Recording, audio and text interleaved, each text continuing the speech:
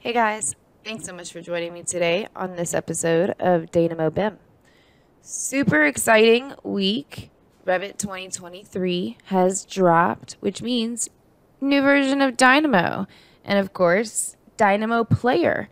And in my opinion, this is going to be reason enough for you to upgrade your models. There are some incredible updates to Dynamo Player and Dynamo. So let's take a look at a few of them.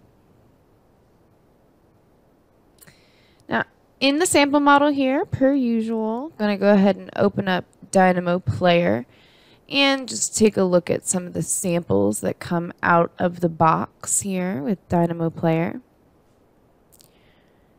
You can see Dynamo Player looks completely different. We have an image now associated to the script, a description below the script name. We can even integrate a URL that will take us to a resource on how to use that script, maybe an internal resource on your intranet or SharePoint page.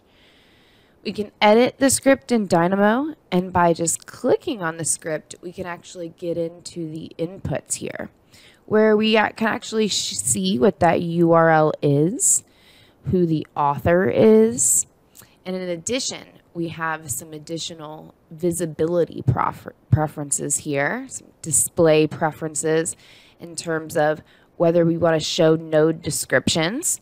You can see that this will actually allow us to further indicate what each input does within Dynamo Player, kind of giving our user a better indication on how to use it.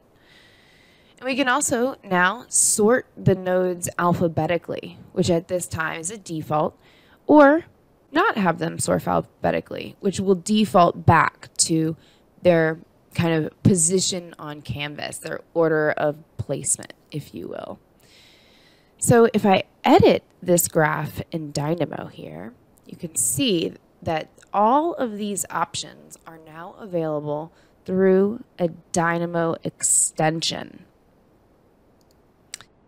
So here up within the extensions tab, we can show graph properties.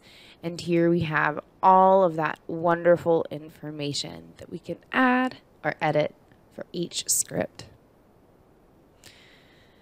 Thank you so much for joining me today. Please let me know down below in the comments what you'd like to learn about next about this version of Dynamo.